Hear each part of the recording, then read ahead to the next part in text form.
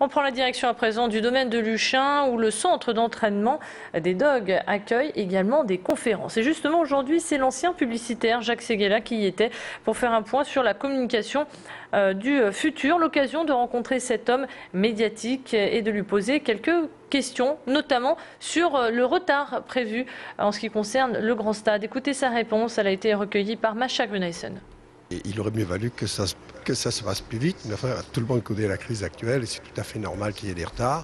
De toute façon, euh, il y a un tel engouement autour de cette équipe méritée que je pense qu'elle peut très bien euh, patienter une année de plus euh, dans ces installations qui ne sont pas non plus dramatiques.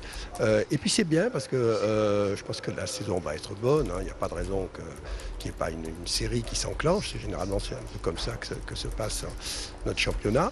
Euh, et ce sera un, un, moyen de relance euh, lorsque euh, peut-être que dans la sinusoïde du sport, il peut y avoir une baisse.